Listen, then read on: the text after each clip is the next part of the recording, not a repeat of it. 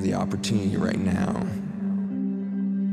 to begin to rehearse the future for those that will become awake. And this is the opposite of a new woke paradigm. This is an awake that is ecstatic. This is not an awake that that congratulates itself for some enlightened viewpoint or some neoliberal perspective. This is awake on the ecstatic levels. So bring yourself into a state of ecstatic awareness of your fingers and toes right now. Feel your toes, wiggle them a little bit.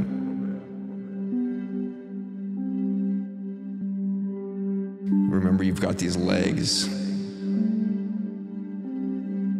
Remember, you've got these thighs. Remember, you've got this pelvis that holds the energy of your soul. Remember, you have this belly as to where you make decisions. And remember, you have this chest where you emanate the emotional love and, and gratitude for the universe. Remember, you have this head that is not there to be encased in brain activity, but is actually your gateway to the solar environment, the, the, the heavens, if you will.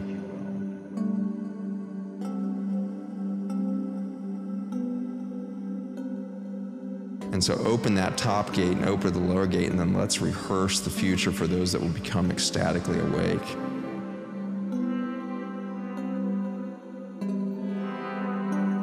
And create the future that we want.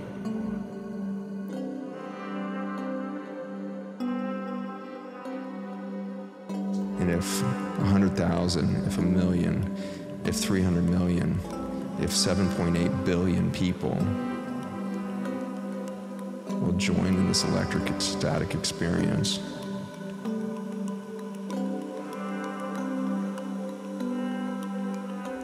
There's no vacuum to be filled by the old fear and, and guilt paradigm.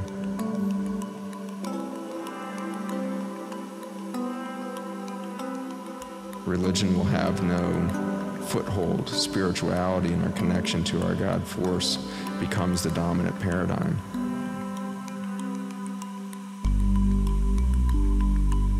There's no currency based on death and decay that can rationally control us because we have found an ecstatic state of abundance that exceeds the concept of need for money.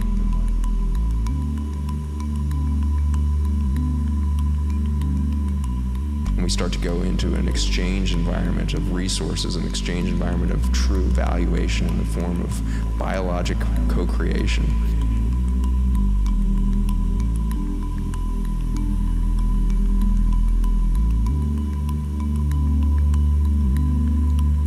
Start to build cities that are, are built within soil and rock structures. We could build things that look more like cave dwellings than skyscrapers. We could build things that, uh, instead of cell phone towers, are integrated communication networks through the fiber optic cables that we call mycelium of the fungi in the soils around us.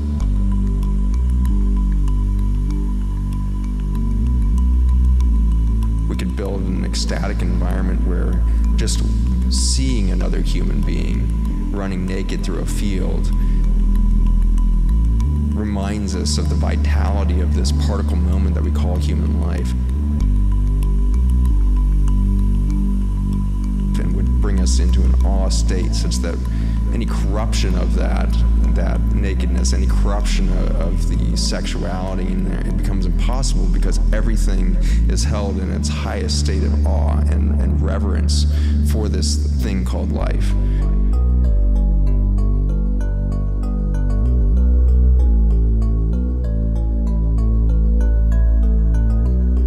And then we will experience pleasure, this ecstatic experience on a whole different level because we are not perturbed by straight lines that pierce into some sky in search of some invisible godlike power that we would be afraid that we would miss out on.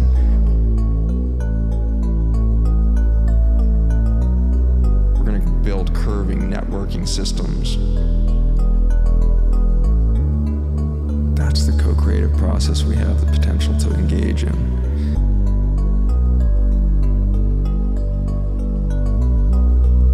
And so, as faced with a decision of am I going to wear a mask or not, if I'm going to risk the biologic injury of a vaccine or not. You, you start creating your own boundaries, and instead of putting your energy into a system that says, I need to go you know, fight against the vaccine, I'm going to create a new system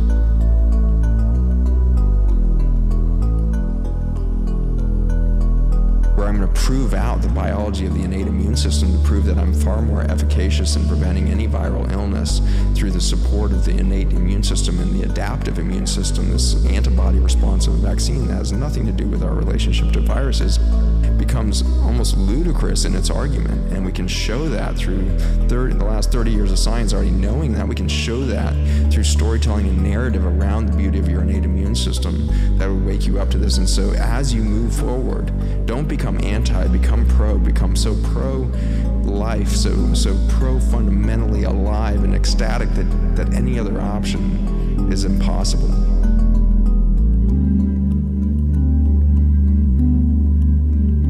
And suddenly your biggest release, you know, ultimately at the end point becomes what we now call death.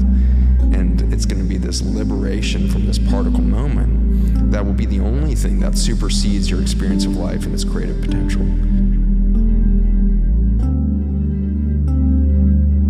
You will become something far greater than your biologic experience, your particle moment at that moment. And the creativity in, in that death moment is extremely logarithmic.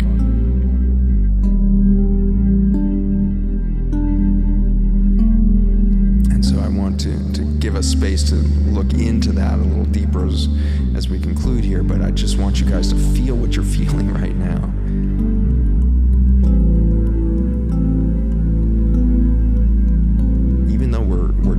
Disconnected by the temporal space of recording this and your ears hearing this. We have superseded that now.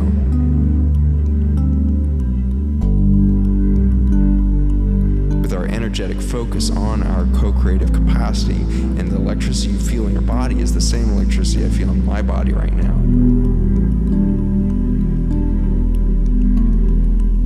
It is solar energy that's being broken down into a new electromagnetic field.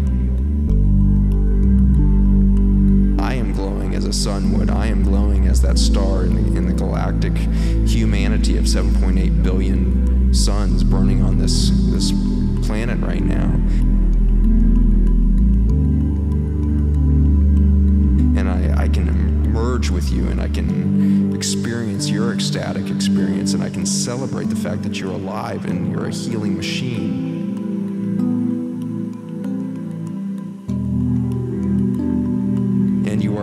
Birthing machine. You are a birthing machine that supersedes any previous notion of who you were, and you're now new every millionth of a second.